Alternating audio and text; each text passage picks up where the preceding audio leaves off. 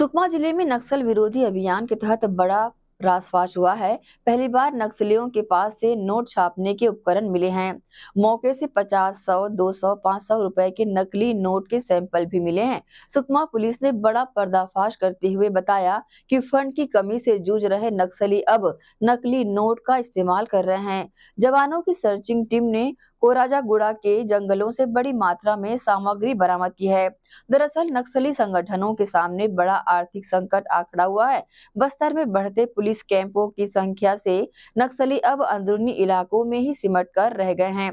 इस संकट से निपटने के लिए नक्सली संगठन जंगलों के भीतर नकली नोटों की छपाई करने में जुटे हुए हैं। इसकी पुष्टि तब हुई जब पुलिस और सुरक्षा बलों ने छापी मारकर बड़ी संख्या में प्रिंटर और नकली नोट बरामद किए। जंगल से जब्त सामान को दिखाते सुकमा एसपी किरण चौहान ने प्रतिक्रिया दी।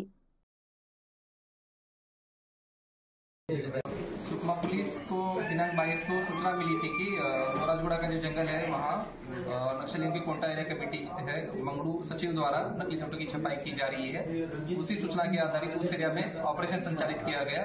ऑपरेशन संचालित करने के बाद वहाँ काफ़ी कलर प्रिंटर्स, काफ़ी शाही और पचास सौ पाँच सौ रुपए के नोट्स बरामद किए गए।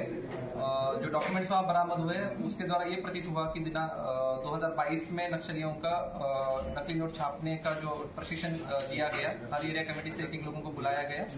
और इससे ये प्रतीत होता है कि नक्सलियों की जो फंडिंग नक्सल अभियान और जो कैंप खुले हैं, उसकी वजह से कहीं ना कहीं प्रभावित हुई है और उसको कंपेंसेट करने के लिए नक्सली नोट की छपाई कर रहे हैं।